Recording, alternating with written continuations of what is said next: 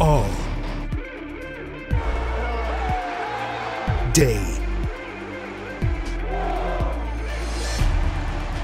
Saturday.